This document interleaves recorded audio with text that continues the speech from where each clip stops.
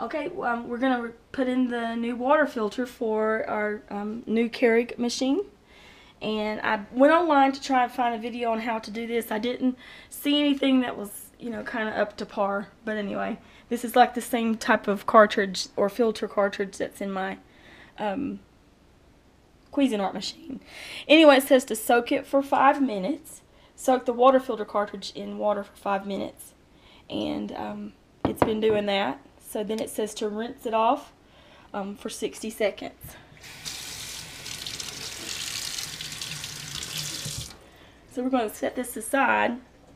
Actually, I'm going to set it right in there like that. And then, well, let's turn it around this way.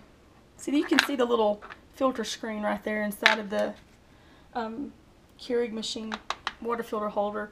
Then it says um, to wash the stainless steel um, mesh on the lower filter holder. So let's do that That's now. the lower filter holder there. that This for is you. it here. I'm gonna wash that off real good. Okay. And then um, insert the rinsed water filter cartridge into the upper filter holder and then snap on the lower filter holder. So let's do that. And then we're going to set the replacement date dial two months ahead. So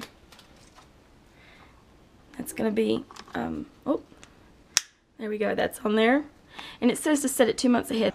We've got it on April. Because this is February fourth 1st, month. so you're two months ahead. Okay, great. So we're going to put this in. There you go. All right. And it's in. Fantastic. So because it's on four, I'm going to know that in April yes. I need to change it. We're changing on February 1st.